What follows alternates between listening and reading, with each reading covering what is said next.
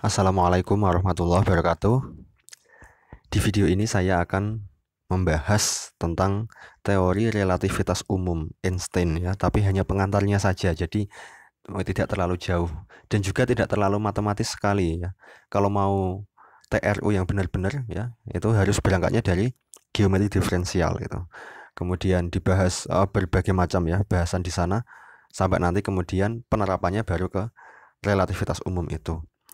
Nah, ini kan ceritanya saya nggak ngajar TRU sebenarnya, cuman karena ada mata kuliah yang di sana saya harus bahas yang perlu TRU gitu, yaitu kosmologi. Jadi saya mau bahas kosmologi, yaitu perkembangan jagat raya gitu. Dan itu alatnya nggak bisa nggak memang harus pakai relativitas umum. Nah, jadi karena belum dapat relativitas umum ya harus saya kasih pengantar dulu TRU gitu ya, teori relativitas umum. Oke. TRU itu biasa juga disebut sebagai teori gravitasi ya, karena ada yang berubah tentang konsep gravitasi itu. Yang awalnya adalah bahwa gravitasi itu adalah gaya tarik menarik antar dua benda bermassa, itu ya. Jadi gravitasi kan versinya Newton itu adalah gaya tarik antar benda bermassa.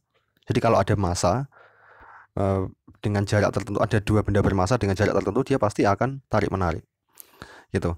Nah, kemudian kalau versinya Einstein, gravitasi itu bukan gaya ya. Jadi di sini tuh gravitasi bukan gaya. Ini penting. Gravitasi bukan gaya. Ini kan seperti mendobrak teori lama ya. Gravitasi yang kita selama ini kita pahami sebagai gaya dianggap bukan gaya. Lalu gravitasi itu apa?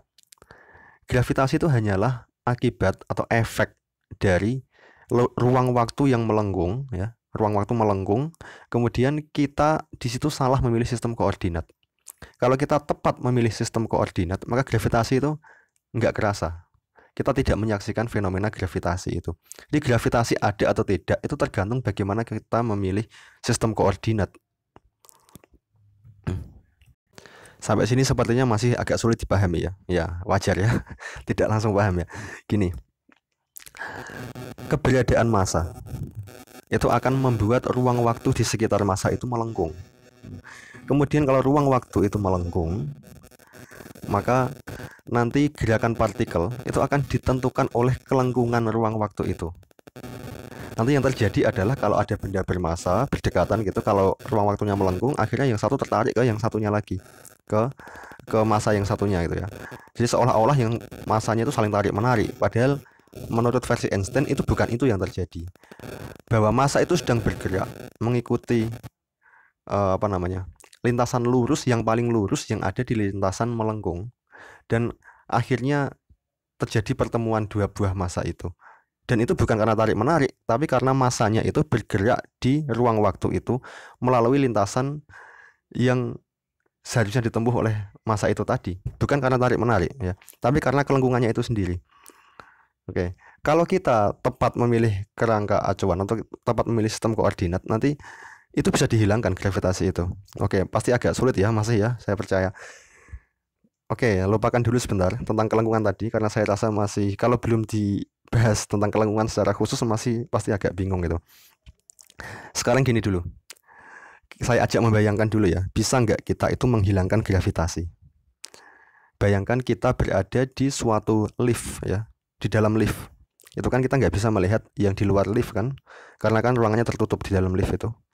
Nah itu kalau bayangkan liftnya itu putus ya liftnya itu putus sehingga lift itu jatuh bebas. Dan akhirnya akhirnya kita yang di dalam lift juga ikut jatuh bebas bersama lift yang jatuh bebas. Bisa bayangkan ya kita jatuh bersama lift yang jatuh. Jadi tidak ada yang menahan ke atas memang jatuh dulu jatuh. Saat itu kita nggak bisa melihat di luar kita ya. Kita hanya bisa menyaksikan yang ada di dalam lift itu. Apakah kaki kita itu menekan lift? Enggak, kalau yang sebelumnya, kalau liftnya nggak jatuh bebas, kaki kita itu akan menekan lift ya. Kita masih memiliki berat. Kalau kita kasih timbangan di bawah kaki kita, timbangan nanti jarumnya itu akan bergerak, menunjukkan berat badan kita berapa gitu. Tapi kalau liftnya juga jatuh, kita juga jatuh di dalam lift ya. Maka akhirnya kaki kita nggak bisa menekan lift. Kalau misal kita kasih timbangan di bawah kaki kita itu, itu juga jarumnya nggak bergerak nanti karena nggak ada tekanan. Yes, ya. Jadi kita kehilangan berat di situ. dan kalau kita mau terbang gitu ya terbang itu gimana kita kaki kita nggak menyentuh lantai lift itu juga bisa ketika liftnya jatuh kita jatuh kemudian kita, kaki kita kita angkat ke atas ya sehingga kita nggak menyentuh lantai lift itu pun bisa jadi seolah-olah kita bisa terbang ya kemudian tidak ada istilah jatuh di sana karena sudah sama-sama jatuh. Jatuhnya nggak kelihatan. Kita kehilangan berat. Nah di kasus seperti itu itu kita sedang menghilangkan gravitasi. Atau kita berada di kerangka atau di sistem koordinat yang di sana kita tidak bisa menyaksikan gravitasi. Itu salah satu contoh kasus di mana gravitasi bisa dihilangkan. Oke selanjutnya kita akan mencoba memahami perbedaan antara ruang datar dengan ruang lengkung. Itu nanti akan tercemin dari metriknya. Apalagi itu metrik itu ya, makhluk makhluk asing lagi itu muncul itu ya. Oke, gini dulu. Ini sudah saya siapkan gambarnya karena kalau gambar langsung agak susah. Bayangkan kita berada di ruang datar, dua dimensi aja supaya nggak bingung. Kalau langsung empat dimensi nanti susah. Kalau ruang waktu kita itu sebenarnya empat dimensi. Ya bukan bukan sebenarnya ya, pokoknya yang biasa dimodelkan itu adalah dengan empat dimensi gitu. Jadi empat dimensi itu kalau satu dimensi kan cukup satu variabel ya x gitu. Kalau empat dimensi nanti ada x, y, z sama variabel waktu yang satunya lagi. Jadi ada empat empat variabel untuk menandai satu titik dalam ruang. Nah supaya nggak terlalu bingung, saya bawa ke ruang dua dimensi dulu. Dua dimensi itu luasan ya kita melihat ruang datar dua dimensi. Apa itu ya ruang datar biasa itu? Contohnya adalah papan tulis yang datar itu ya. Lalu kemudian ya pokoknya yang lapangan luas datar itu. Ya, itu. Tapi di sini luasnya tak berhingga gitu ya. Itu bayangkan ruang seperti itu dua dimensi. Oke. Nanti lengkung tidaknya ruang itu tercermin dari metriknya ruang itu. Metrik itu jarak jarak itu dihitung dengan menghitung garis panjang garis lurus yang menghubungkan dua titik. Ya, jarak ya, selama ini kan kalau kita gini, ada saya berdiri ini. Saya berdiri di suatu titik, kemudian ada teman saya berdiri di titik yang lain. Berapakah jarak saya dengan teman saya itu? Ya berarti saya harus menghitung panjang garis lurus yang menghubungkan saya dengan teman saya tadi. Oke. Sebagai contoh di sini nih. Ini kalau misal ada titik A, titik A itu di ujung segitiga yang ini ya. Titik A itu ini, ya. Titik B-nya di sini ya. Di ujung yang sini, titik B. Berapakah jarak antara AB? Ya, yang kita sepakati biasanya jaraknya itu adalah panjang garis lurus yang menghubungkan A dan B. Mana itu? Yaitu ini. Ini ya, panjang ini ya. Oke, panjang garis ini itu adalah jarak antara A dan B. Apakah jarak itu harus melulu Eh, panjang garis lurus yang menghubungkan dua titik itu tidak harus gitu ya. Tapi di sini kita sepakati dulu bahwa jaraknya adalah panjang garis lurus yang menghubungkan dua titik. Kita sepakati dulu begitu ya. Kita sepakati begitu. Atau dengan kata lain, kita sedang melihat panjangnya kurva geodesik yang menghubungkan dua titik. Kurva geodesik itu apa? Yaitu kurva yang paling lurus yang menghubungkan dua titik. Apa itu kurva paling lurus? Yaitu kurva yang jaraknya paling pendek atau panjangnya paling pendek yang menghubungkan dua titik. Ini kan yang menghubungkan titik A dan B kan ada banyak sekali sebenarnya kalau kita mau buat ya. Bisa lintasan yang ini, gitu ya. Ini kok putus-putus ya. Maksudnya nggak putus ya. Lintasan yang ini misalnya gitu. Nggak banyak putus ya. Maksudnya nggak. Kemudian ada lintasan yang ini, ada banyak sekali gitu ya yang menghubungkan A dan B itu. Oke, tapi kita pilih lintasan yang menghubungkan A dan B yang panjangnya itu paling pendek, paling kecil panjangnya. Dan otomatis itu adalah garis lurus ini, ya, garis lurus yang ini yang menghubungkan A dan B. Oke. Kita sepakati dulu begitu. Jarak antara A dan B adalah panjang garis lurus yang menghubungkan A dan B. Panjang garis lurus ini kalau misal saya tulis sebagai delta S gitu. Saya tulis sebagai delta S di sini delta S itu apa? Delta S adalah panjang ini, garis yang menghubungkan A dan B itu. Di sini kan kita menggunakan koordinat X dan Y ya, dua dimensi. Ini sumbu X, ini sumbu Y gitu. Oke. Kemudian ini panjangnya adalah delta X atau X2 min X1 ya, ini X2-nya, ini min x satunya ya x2 min x1 menjadi delta x kemudian ini adalah delta y ini ya yang ini delta y kalau di ruang datar seperti ini ini akan selalu berlaku Pitagoras bahwa delta s kuadrat ya itu adalah delta x kuadrat plus delta y kuadrat. Selalu berlaku seperti ini. Berlaku, berlaku Pitagoras setiap kali kita membuat garis lurus kemudian ada delta x nya delta y nya maka akan selalu berlaku Pitagoras oke. Dan ini juga akan berlaku kalau misal garisnya ini garis yang menghubungkan A dan B ini ya ini saya perpendek sehingga delta x nya itu saya perkecil ya. Ke sana perkecil sekali. Delta y nya juga saya perkecil sekali. Bayangkan menjadi segitiganya kecil sekali seperti ini misalnya. Pakai apa ya? Pakai ungu ya. Gini misalnya di sini nih. Kecil sekali. Ini tetap segitiga siku-siku ya tapi kecil sekali. Oh, kok jelek gambarnya? Ulangi ulangi. Uh, segitiganya jadi kecil sekali gini ya. Gini lah ya. Oke. Segitiga ini kecil sekali yang saya arsir ini Oke.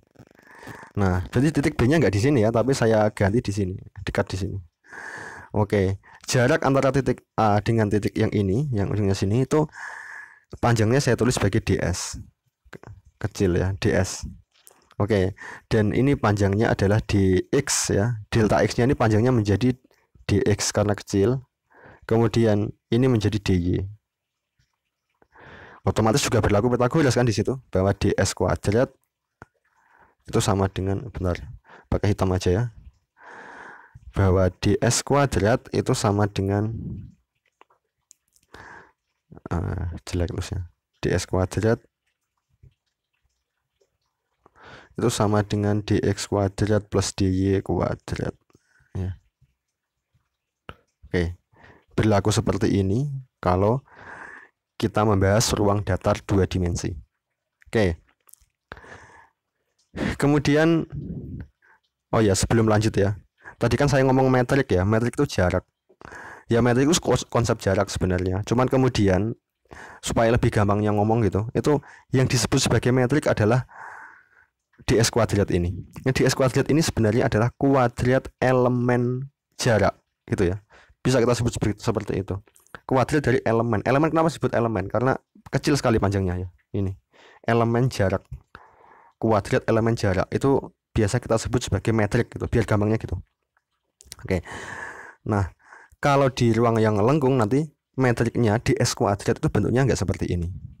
Oke, dicatat dulu pokoknya ini kita pegang sebagai metrik. Dan lengkung tidaknya ruang nanti itu atau bentuk ruangnya seperti apa itu itu tergantung dari metriknya.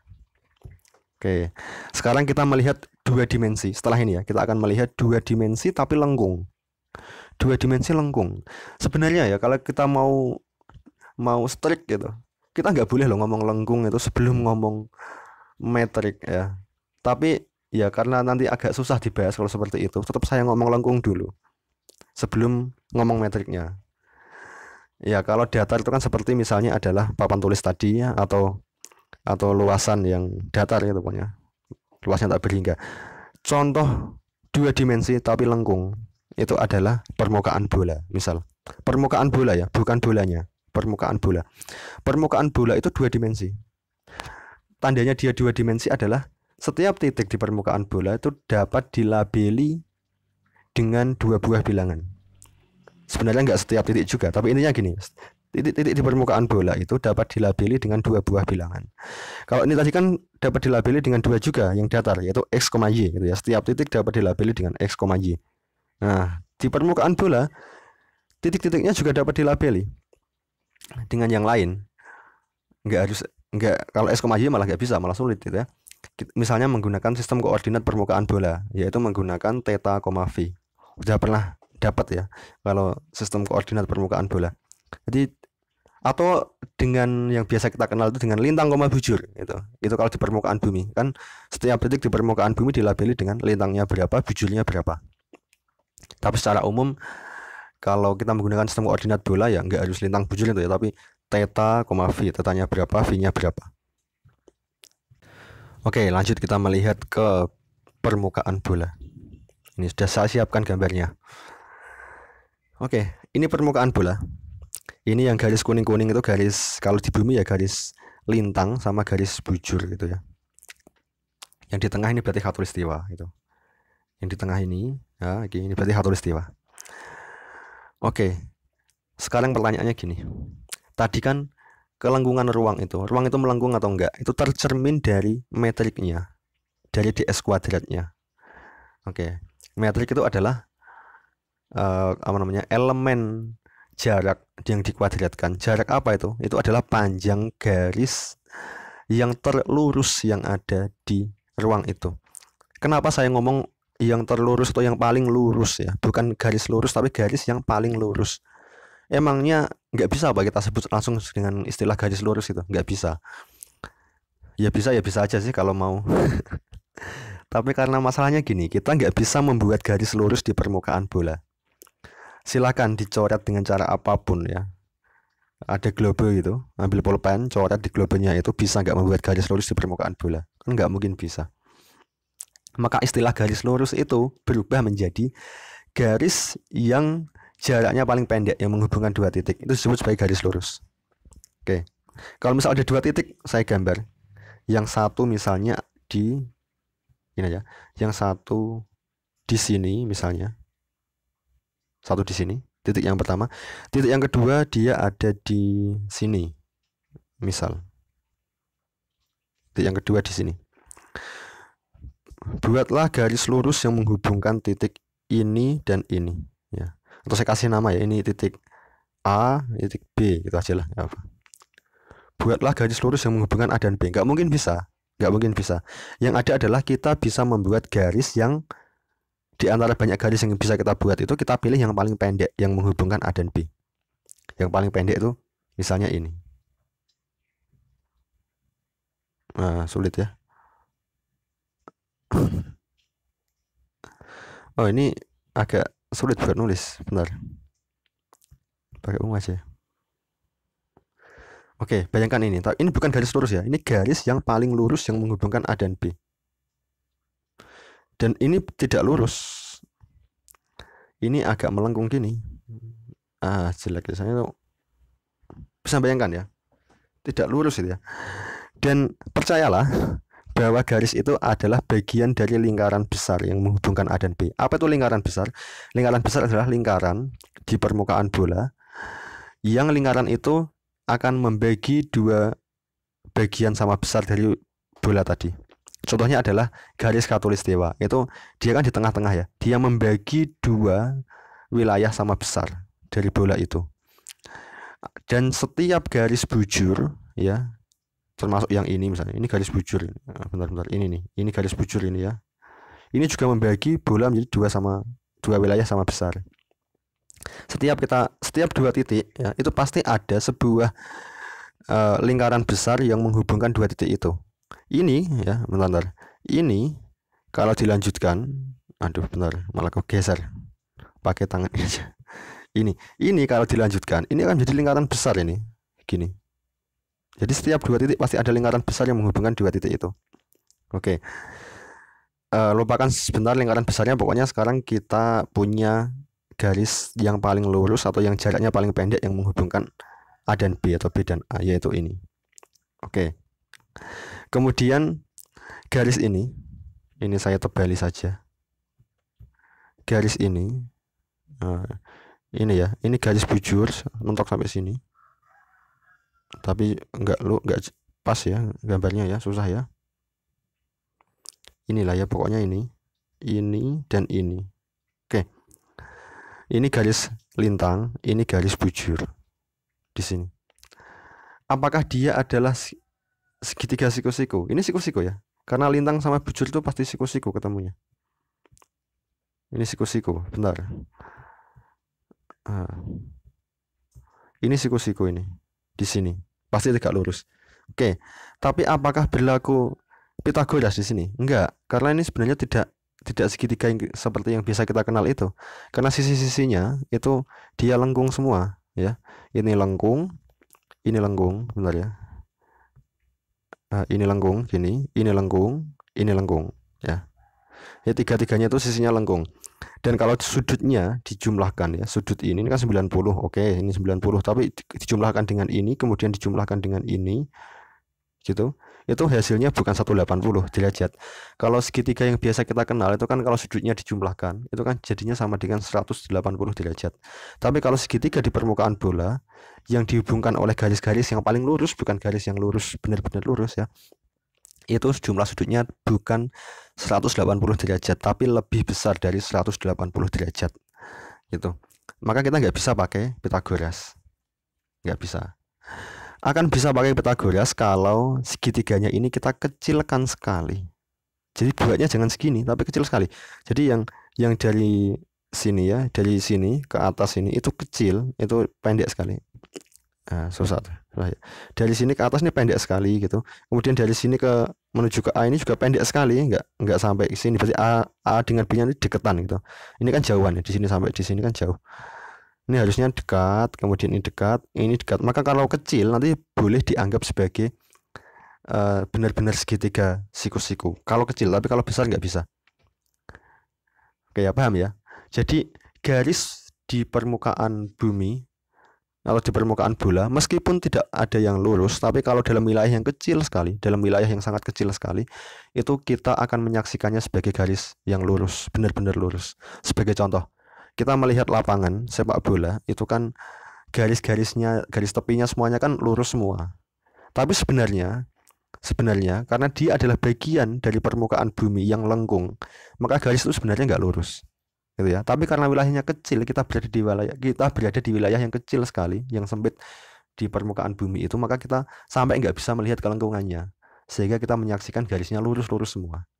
Ya, seperti itu kasusnya.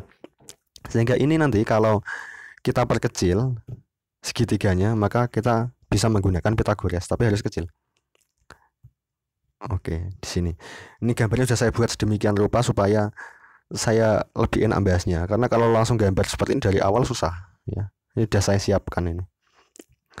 Sekarang yang tadi AB berjauhan tadi sekarang deketan sekarang. A nya di sini ya di titik ini ini B nya di titik ini. Udah ya di dua titik itu ya. Dekat sekali kan? Oke. Di permukaan bola kita kan pakai koordinat permukaan bola. Jadi setiap titik dapat dinyatakan sebagai theta, v ya theta koma v. Theta itu mana? Theta adalah dari sumbu kalau titiknya yang ini misalnya saya bahas titik yang ini. Titik ini oke. Okay.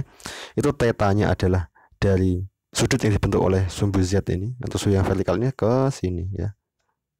Nah, jelek ya. Gini aja lah kecil ya di sini ya. Nah itu theta itu theta theta gitu ya. Kemudian v itu adalah yang dibentuk dari sumbu x ke sini. Ini v ya Oh. Ini V. Jeleknya ya. Jelek. Oh, itu V, theta, V. Jadi setiap titik nanti dapat dilabeli dengan theta, V, termasuk ini. Oke. Kemudian ini kan V-nya bertambah sedikit ini. Kalau dari sini kemudian kita bergerak ke sana, ya. Dari sini kita bergerak ke sini, searah garis lintang itu. Itu kan V-nya bertambah sedikit. Jadi sudutnya ini bertambah sudut ini ya bertambah sudut ini yang kecil ini ya. Atau itu juga sama dengan sudut ini. Oke ini sudutnya adalah dv sudutnya itu dv kecil ya. Kemudian dari sini kalau kita naik ke sana ya dari sini ke sini naik ke sini itu berarti eh, kita sudut sudutnya bertambah sebesar d theta gitu ya. Atau dari sini ke sini juga boleh lah dari sini ya ke sini gitu ya. Itu sebesar d theta Oke. Ini karena saya gambarnya dari sini ke sini itu naik, harusnya ini min d theta itu ya. Tapi nggak masalah ya. Kalau nanti dikuadratkan juga ya, anggap aja d tetanya itu negatif itu. Nggak masalah. Kalau nanti juga dikuadratkan jatuhnya kan tetap jadi positif. Oke, sekarang kita akan melihat atau mencari jarak dari titik ini ke sini. Nah, tadi ya segitiga yang tadi ya. Bukan kecil yang warna saya ganti warna aja biar jelas warna merah. Ini ya. Jadi kita sekarang melihat segitiga siku-siku sekarang. Yang merah dengan dua garis yang ungu itu, yang kecil itu ya. Itu segitiga siku-siku. sebenarnya tidak benar-benar segitiga siku-siku, tapi karena dia kecil sekali maka dia dapat dianggap sebagai segitiga siku-siku.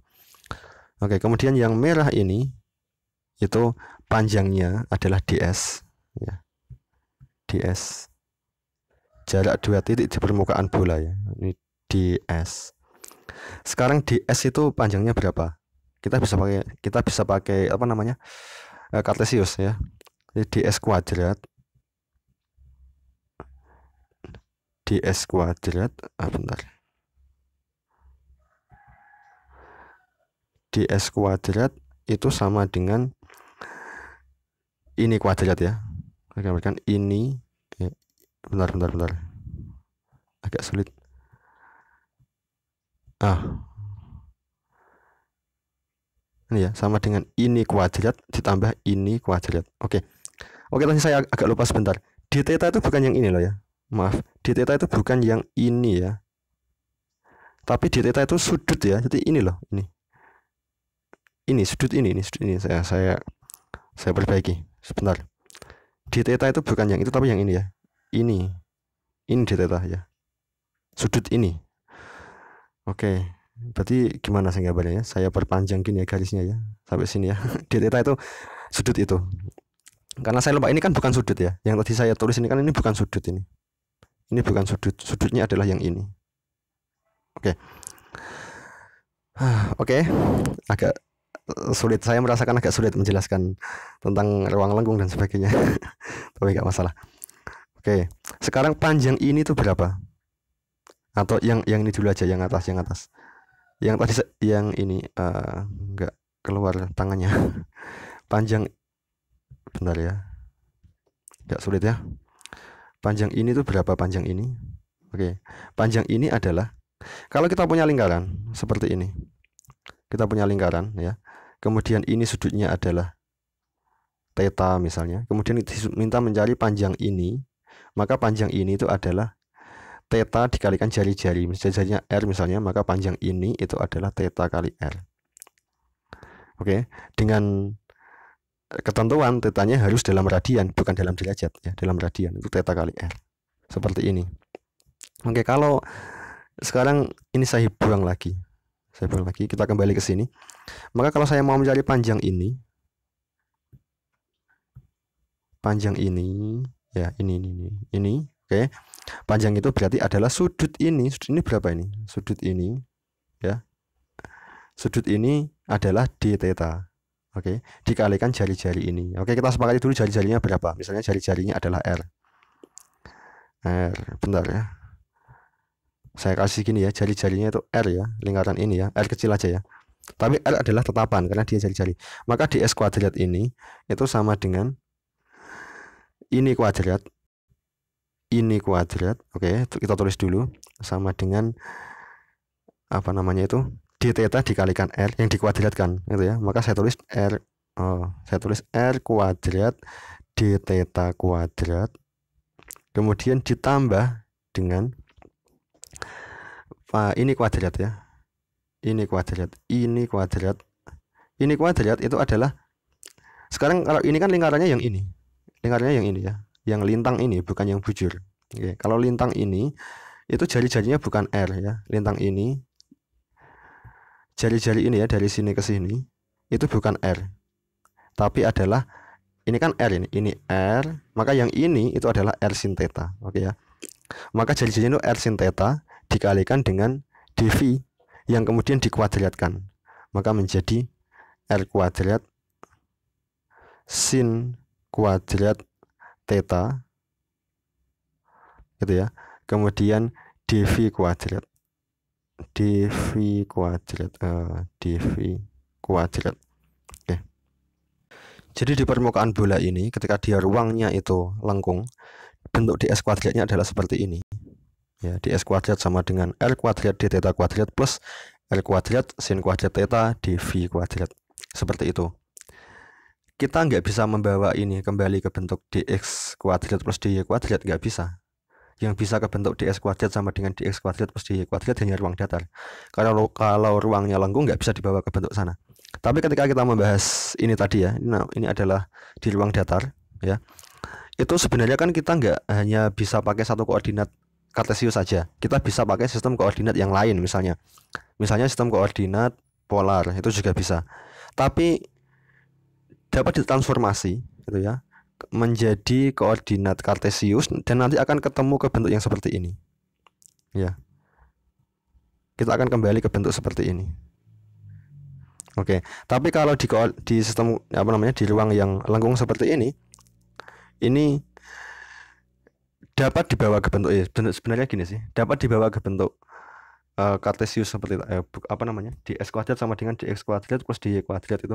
Tapi itu harus dalam ruang yang sempit sekali. Tapi kalau agak luas tuh udah nggak bisa. Memang harus pakai ini gitu ya. Atau yang lain juga boleh nggak harus pakai ini. Tapi yang jelas beda dengan yang di datar tadi ya bentuknya. Bukan dx kuadrat plus dy kuadrat nggak bisa seperti itu.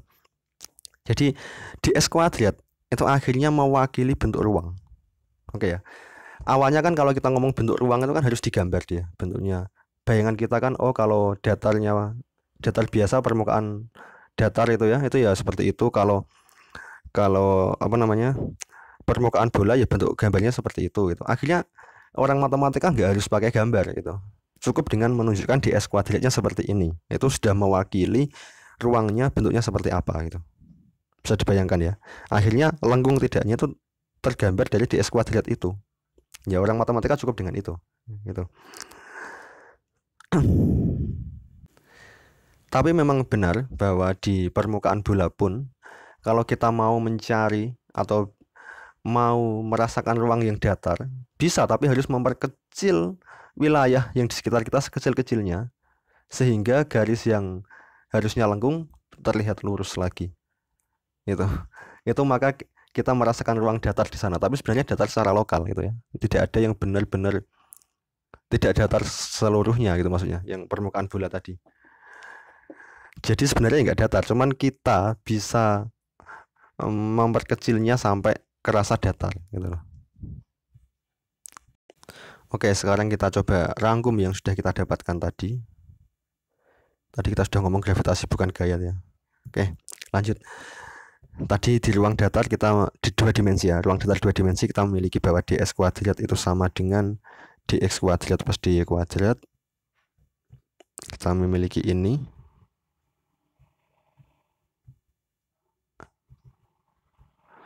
Plus dy kuadrat gitu. Ah jelek ya. Tapi kalau di permukaan bola kita punya ds kuadrat sama dengan r kuadrat d theta kuadrat plus R kuadrat sin kuadrat theta dv kuadrat. Kita punya seperti ini. Biasanya juga diambil R nya itu satu gitu supaya lebih enak. Kalau R nya ini diambil satu ini diambil satu ya udah berarti ds ini menjadi gini ya menjadi ds kuadrat itu sama dengan d theta kuadrat plus sin kuadrat theta dv kuadrat. Gini. Oke. Yang ruang datar seperti ini yang ini oke itu kita sebut sebagai ruang Euclid ya Euclid tulisannya Euclid Euclide nggak apa ya tulisannya jelek ya. Oh bacanya Euclid sebenarnya Euclid. Atau ada yang menyebutnya ruang Euklidean nah, sembarang lah. Mungkin lidah orang beda negara beda-beda ya. Disebut ruang Euklidean udah nggak apa-apa. Oke kemudian yang seperti ini lengkung ini. Dan secara umum termasuk juga yang atas ini itu disebut sebagai ruang Rimanan. Riman. Ya jelek banget tulisnya ini layar HP saya lagi agak sulit buat nulis kayaknya agak licin. Hari man. Eh jeleknya ya Allah.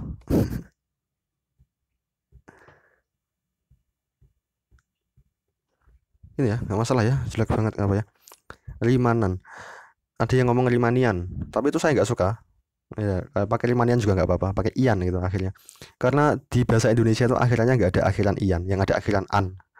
Ya pe, apa namanya pemotongan karena akhirnya kan an rimanan atau ada yang pakai ian ya nggak apa rimanian ya nggak masalah lah. Dan riman rimanian ini nggak cuma yang ini loh ya nggak cuma yang ini termasuk yang atas juga ini. Jadi oiklit itu termasuk bagian dari liman. Liman yang datar namanya oiklit gitu tapi oiklit nggak nggak harus liman jelas ya. Nah kalau di relativitas umum nanti ruang waktu itu ruangnya itu empat dimensi. Enggak dua dimensi seperti ini, ini kan dua dimensi ya.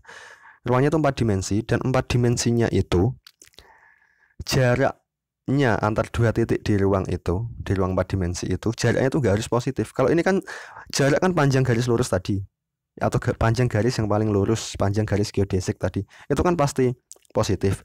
Tapi kalau di ruang se, apa namanya yang kita pakai untuk membicarakan ruang waktu nanti itu itu jaraknya boleh negatif atau bahkan boleh imajiner gitu. Dan itu namanya nanti ruangnya bukan ruang rimanan tapi ruang semi rimanan nanti ruang datarnya disebut sebagai ruang semi Euclid gitu. Secara khusus lagi disebut sebagai ruang Minkowski yang datar.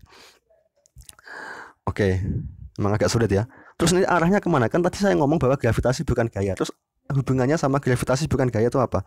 Setelah ini saya lanjutkan ya. Jadi sabar dulu ya, memang harus pelan-pelan ini. Dan saya juga mungkin masih belajar untuk menjelaskan gimana supaya mudah ditangkap. Tapi nggak tahu ini apakah mudah ditangkap atau enggak. Sementara sampai saat ini tadi saya baru ngomong tentang konsep ruang lengkung dan tidak lengkung yang tercermin dari metriknya. Meskipun berpanjang lebar ya saya ngomongnya ya. Oke. Sebelum lanjut ke gravitasi ya, yang bukan gaya tadi. Gini dulu. Ini uh, notasi not, apa namanya kesepakatan notasi. Jadi kalau misal di suatu ruang ini kita masih di dua dimensi dulu ya biar nggak sulit di ruang dua dimensi dulu. Di ruang itu ada sistem koordinat ya kemudian sistem koordinat itu melabeli titik-titik di dalam ruang dengan koordinat x1, x2 misalnya gitu eh, satunya di atas gini x1, x2 di setiap titik di ruang itu dilabeli dengan X1, X2.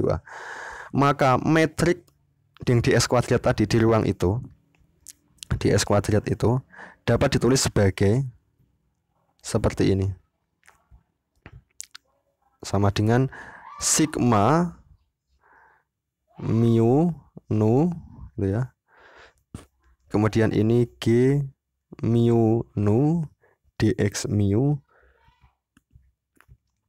G mu nu dx mu dx nu. Oke. Kalau yang kasusnya tadi ya mu nya bergerak dari 1 sampai 2 aja ya. Ini kan 1 sampai 2 ya. Yang ini kan 1 sampai 2 maka ini 1 sampai 2. Gini aja. Maksudnya apa ini? Maksudnya adalah mu-nya itu bergerak ya dari 1 sampai 2, nu-nya juga. Jadi ini bisa G 11 dx1 dx1 gitu ya plus G 1 2 dx1 nunya gerak dulu ya. Jadi satu ini nunya ganti dua. Dx1 dx2 kemudian plus g 21 dx 21 ya dx2 dx1 plus gitu g 22 dx2 dx2 udah nggak muat ya nggak apa oke untuk kasus yang tadi misalnya seperti ini seperti yang kita lihat di sini dulu Oke, yang Cartesius ini dx kuadrat sama dengan dx kuadrat plus dy kuadrat. Berarti x1-nya adalah x, x2-nya adalah y. Jelas ya? X1-nya x, x2-nya y. Kemudian g eh, mana ini? G11 ini kan ini dx dx ya, yang x1-nya x, x2-nya y. Berarti kalau dx1 dx1 berarti dx kuadrat. Kemudian G11-nya itu adalah satu kalau seperti ini nanti maka menjadi satu kali dx1 dx1 1 dx kuadrat plus 1 dy kuadrat ini adalah dx2 dx2 ya dy kuadrat itu dx2 dx2 maka g dua-duanya itu 1 kemudian berapa ini? G12 nya 0 yang tadi ya. Kemudian g21 nya adalah 0 untuk kasus yang ini. Kalau untuk kasus yang ini itu berarti yang di permukaan bola tadi itu X1-nya adalah theta ya X1-nya theta, X2-nya adalah V. X1 theta, X2-nya V. Kemudian G11 itu di sini adalah satu. Kalau seperti ini, ya. Kemudian G22 ini ini di X2 di X2 ya karena X2 nya adalah V. Ini adalah G1 satunya satu ini G22 nya itu sin kuadrat theta. Itu G22 kemudian berapakah G12 dan G21 kebetulan juga nol. Untuk kasus ini tadi Oke, tapi secara umum tidak harus seperti itu ya. Jadi G11 bila ada nilainya, G12 ada nilainya, G21 ada nilainya juga boleh. Tergantung kasusnya. Jadi metrik apa namanya? Rimanan tadi itu secara umum nanti itu boleh dinyatakan seperti ini. Dengan G11 apa eh, G sorry, dengan G mu no itu itu adalah fungsi yang bergantung kepada x mu x no. Lebih tepatnya gitu ya. Fungsi bergantung pada x mu x no. Biasanya orang itu malas menulis sigma seperti ini. Sigma itu. Itu malas. Jadi kalau ada indeks berurutan itu otomatis ada perintah penjumlahan. Jadi ditulis gini, ditulis gini.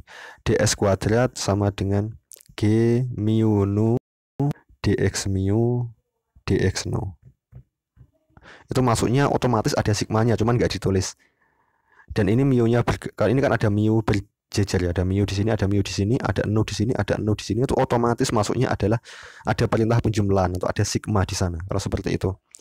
Nah di ruang waktu nanti itu mu-nya tidak hanya dari satu dua satu ke dua itu tapi akan ruangnya kan empat dimensi ya. Itu dari 1 sampai 4 atau biasanya orang orang lebih suka nggak 1 sampai 4 tapi 0 sampai 3 gitu jadi 0, 1, 2, 3. Mu-nya bergerak dari 0 sampai 3. No-nya juga bergerak dari 0 sampai 3. 0-nya itu biasanya untuk koordinat yang terkait dengan waktu. Kemudian yang tiga yang lainnya 1, 2, 3 itu terkait dengan keruangan. Ruang yang ruang biasa bukan yang waktu ya. Yang X, Y, Z itu. Kalau kartesius tapi kan nggak harus kartesius ya. Oke lanjut. Mohon maaf ya videonya agak panjang karena saya berusaha menjelaskan supaya jelas gitu cuman nggak tahu sih jelas atau enggak ya semoga jelas. Oke kita tadi sudah mempelajari bahwa ruang lengkung atau enggaknya terlihat dari ds kuadratnya gitu ya. Yang ds kuadratnya itu itu benar. Yang ds kuadratnya itu bahkan juga dapat diwakili dengan g mu sebenarnya. Jadi ds kuadrat itu terwakili oleh sekumpulan bilangan G mu nu G mu nu. Jadi G11, G12 berapa, G13 berapa dan seterusnya. Ya, itu. Jadi se sekumpulan G mu nu dengan berbagai mu dan nu itu itu sudah mewakili ds kuadrat sehingga juga dapat dinyatakan dalam matriks sebenarnya. ds kuadrat itu terwakili ya, metrik ini terwakili oleh G mu nu. Kalau mau lebih lengkap saya tulis gini artinya adalah sekumpulan nilai G mu nu. Saya kasih kurung kotak gini. Dan itu sebenarnya adalah matriks gitu ya. Ini dapat ditulis sebagai matriks. Ini G. Kalau misalnya kita ngomongnya 0 sampai 3 aja supaya lebih terbiasa dengan relativitas ya. G00, G01, G02, G03. Kemudian ini ya, ini kemudian G 10 G11 dan seterusnya nanti sampai G33. Jadi akhirnya di S kuadrat tadi yang sebenarnya dia sudah mewakili tentang keruangan bentuknya seperti apa, geometrinya. Kemudian matriks ini itu mewakili metrik ds kuadrat itu. Oke. Udah, ngomongnya itu selesai tentang ds kuadratnya. Sekarang saya mau menjelaskan gimana kaitannya kok bisa kelengkungan ruang itu terkait dengan apa namanya gravitasi tadi. Katanya kan gravitasi bukan gaya, gravitasi itu efek atau akibat dari kelengkungan ruang waktu, gitu ya. Kemudian kalau kita salah memilih kerangka acuan atau sistem koordinat, kita akan menjadi menyaksikan gravitasi. Itu seperti ini kasusnya. Bayangkan saya punya kain dibentangkan, oh, jelek. Bentar, bentar, bentar. Pakai ini aja lah. Bayangkan ini kain. Kain yang dibentangkan. Oke. Tapi kain ini mulur gitu ya. Kainnya mulur. Mulur itu gimana tuh? Uh, apa namanya? Kalau ditekan gini dia jadi berubah bentuk gitu ya, mulur ya. Oke. Kemudian ini saya kasih bola di atasnya. Bola besi atau apa gitu. Sehingga ini menjadi cekung gini. Tadi kan awalnya kan di kain ini ada garis lurus gini misalnya ada garis lurus gini ah lurus kemudian saya kasih ini bola di atasnya bola besi gitu misalnya. Kemudian jadinya garis kayaknya ini menjadi melengkung begini. Termasuk garisnya juga. Oke. Jelas ya? Bayangkan tadi sebelum dikasih uh, bola besi tadi kalau ada uh, benda bergerak ke sana misalnya ada bola eh, atau ada benda lah di sini ada benda benda ini bergerak ke sana ya. Bergerak ke sini ya bergerak ke sana ke kanan gitu. Kalau nggak ada gaya lain yang mempengaruhi benda ini bergerak benda ini akan bergerak lurus beraturan. Itu hukum satu newton ya. Kalau nggak ada gaya yang mempengaruhi benda bergerak maka benda itu akan bergerak lurus beraturan. Kalau sudah punya kecepatan awal. Kalau awalnya diam ya tetap diam. Kalau awalnya sudah bergerak dia akan bergerak lurus beraturan. Hukum satu newton. Oke karena dia dikasih ini bola ini maka ini menjadi lengkung gini ya. Jadi menjadi tidak lurus lagi tapi menjadi seperti ini. Oke. Kemudian supaya gampang saya gambar lagi garis lengkungnya itu di bawahnya sini biar bahasnya lebih enak ya. Lengkung gini ya. Gini ini maksudnya. Lurus tapi di sini lengkung gini ya. Ah jelek ya oke bisa bayangkan gitu ya lurus kemudian yang sini lengkung yang tengahnya ini lengkung ya Oke, seumpama yang garis lurus tadi saya kasih bilangan, saya kasih sistem koordinat. Ini kan dua dimensi, berarti pakainya x, y ya, kalau dua dimensi. Misalnya ke sana itu x, ke sana itu y gitu ya. Yang ke sana itu x, maka ini bisa boleh saya kasih nomor ini satu. Nah, gini ya. Oke. Satu, dua, tiga, empat, lima, enam, misalnya gitu. Setelah dia melengkung, ini di sini ini di sini ini jadi jarak titik ini titik ini dengan ini ya yang awalnya berdekatan menjadi jauh dia. Ini dengan ini menjadi jauh. Ini dengan ini ya misalnya gini ya. Ini dengan ini yang awalnya dekat jadi jauh banget gitu. Oke jadi melar dia. Karena dia melar yang awalnya berdekatan jadi berjauhan titiknya. Oke saya gambar gini kemudian ini oke ya jauh gini ya. Ini jadi jauh yang awalnya dekat jadi jauh. Oke. Setelah dia melengkung setelah ruangnya ini melengkung karena dikasih bola besar ini dikasih ini ya. Maka si bola ini si bola kecil ini yang awalnya bergerak melalui lintasan ini kalau misalnya ini lengkung dia jadi bergeraknya ke sini semakin cepat kemudian gini jadi gini pelan misalnya pas di sini dia akan semakin cepat. Gini. Semakin cepatnya itu gini. Jadi dalam waktu yang sama dalam selang waktu yang sama kalau misalnya dalam waktu satu detik dia menempuh dari satu detik ke titik yang satunya lagi di sini misalnya. Kemudian detik kedua dari sini dia satu detik lagi satu detik yang kedua dari sini dia menempuh sekian. Maka pas ini melengkung ini juga sama. Satu detik dia menempuh sekian kemudian sekian kemudian sekian. Dalam waktu yang sama satu detik ya. Kemudian sekian kemudian sekian Oke, kalau kita pakai koordinatnya tetap pakai yang ini, satu dua ini, pakai yang nempel ini di garis ini, kita nggak merasakan gravitasi. Kenapa? Karena dalam waktu yang sama, dalam selang waktu yang sama, kita melihat benda ini akan menempuh jarak yang sama. Gravitasi itu apa? Tahu? Gravitasi kan adanya percepatan yang dialami benda.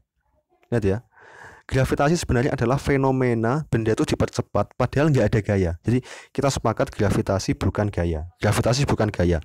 Kalau misal ada benda di atas bumi jatuh ke bumi dia kan semakin dipercepat ke bawah seperti ditarik bumi ya kan ada, ada gaya semacam ada gaya ada percepatan jadinya oke maka kalau nggak ada gaya harusnya nggak ada percepatan nah ini kalau gravitasi bukan gaya tapi kok ada percepatan berarti itu adalah fenomena yang aneh gitu ya tidak ada gaya kok ada percepatan? Berarti hukum Newton tidak berlaku di sana. Jelas. Nah di sini juga benda ini yang turun awalnya gini kemudian semakin cepat gini kemudian lambat lagi gitu ya. Itu pas di sini ini kan mengalami percepatan dia kan? Mengalami percepatan. Tapi kalau kita pakai sistem koordinat yang ini tadi pada saat ruangnya melengkung sistem koordinatnya kita juga kita lengkungkan begini maka kita sedang menggunakan sistem koordinat yang di sana tidak melihat gravitasi. Kenapa? Karena ketika ini dipercepat gini, itu ruangnya kita kita ulurkan ya kita mulurkan atau jarak antar titik ini dengan ini tetap berjauhan. Jadi meskipun waktunya lebih cepat tapi karena jaraknya lebih jauh ya akhirnya kita nggak menyaksikan percepatan. Tapi kalau misal ini melalui ini ya tapi kita masih pakai yang atas tadi yang atas tadi maka kita akan menyaksikan loh dalam waktu apa namanya bentar. Maaf maaf saya salah uh, salah ngomong maksudnya bukan gitu maksudnya. Kalau tadi ini ikut kita mulur ya ketika ini mulur ini ikut mulur gini jadi ini semakin berjauhan berjauhan maka kita nggak menyaksikan gravitasi. Tapi kalau kita pakai jarak yang seperti ini misalnya satu di sini ya dua di sini kemudian kita pakai jarak yang sama dengan ini kan sekian ini sekian ya ini kita pakai sekian lagi yang sama misalnya di sini itu titik yang ketiga. Berarti titik yang ketiga nggak mengikuti yang yang ini tapi pakai yang ini misalnya supaya ininya sama misalnya gitu. Maka akhirnya dalam selang waktu yang sama dia akan menempuh jarak yang berbeda. Kalau kita pakai yang ini ini ini ini ya. Bukan pakai yang hasil uluran dari atas tadi maka seperti itu kita akan menyaksikan percepatan. Kenapa? Karena pada saat di sini dia semakin cepat gini. Sehingga seolah-olah dalam satu detik yang sama dia menempuh jarak yang berbeda dengan sistem koordinat yang baru tapi kalau menggunakan yang ini tadi dalam satu detik yang sama dia menempuh jarak yang sama artinya jarak itu adalah menempuh dari titik ini ke titik ini ini ke ini itu sama dalam satu detik jadi seolah-olah dia tidak mengalami percepatan. Maka percepatan itu ada atau enggak itu karena kesalahan kita sendiri. Kita mau pakai koordinat yang mana? Nah, koordinat yang di sana dia kita tidak menyaksikan gravitasi namanya sistem koordinat apa namanya?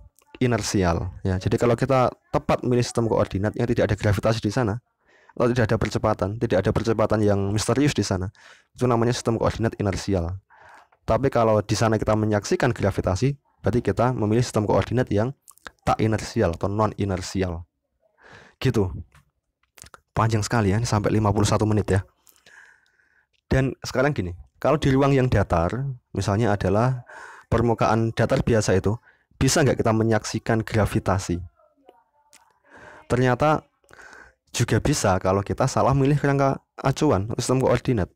Jadi sebenarnya sistem koordinat itu mas apa namanya gravitasi itu masalahnya adalah kita salah memilih sistem koordinat entah itu ruangnya datar atau lengkung gitu ya.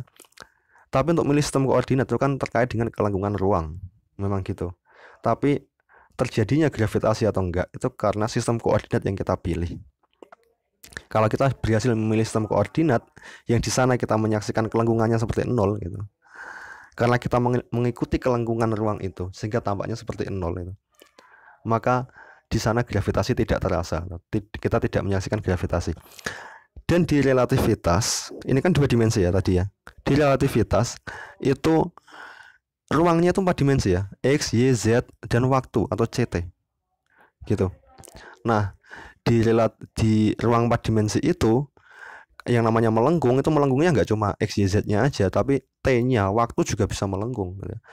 X-nya melengkung, Y-nya melengkung, Z-nya melengkung, waktunya juga ikut melengkung. Gitu ya. Jadi melengkungnya waktu itu gimana? Berarti satu detik di sini nggak sama dengan satu detik di tempat yang lain. Seperti ini tadi ya. Satu ini kalau di sini ya, itu kan nggak sama dengan satu ini. Satu ini beda panjangnya. Sama-sama menghubungkan dua titik ini tapi di sini panjang, di sini pendek. Itu kalau dia melengkung. Waktu juga begitu. Waktu melengkung berarti satu detik di suatu tempat itu itu berbeda dengan satu detik di tempat yang lain. Eh, lama waktunya itu berbeda. Seperti itu.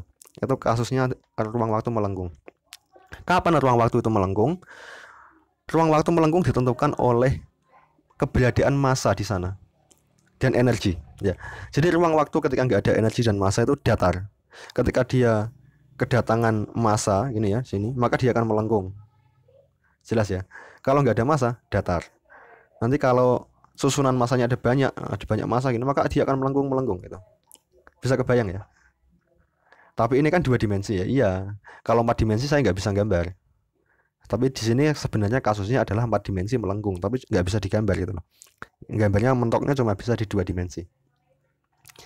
Dan akhirnya ruang waktu itu melengkung karena keberadaan masa-masa itu atau distribusi masa dan energi itu menentukan kelengkungan ruang waktu Kelengkungan ruang waktu menentukan bagaimana benda bergerak, karena benda bergerak akan mengikuti geodesik atau garis terlurus yang ada di ruang itu. Jelas ya? Semoga jelas ya. Jadi gravitasi itu sebenarnya adalah fenomena kita salah memilih kerangka acuan ketika kita melihat benda yang sebenarnya dia hanya bergerak melalui kurva geodesik atau kurvator lurus. Tetapi karena kita salah milih kerangka, kita akan menyaksikan yang namanya percepatan dan itulah gravitasi. Oke, gini. Sampai sini. Semoga paham ya. Nanti selanjutnya dilanjutkan lagi di video yang lain harusnya.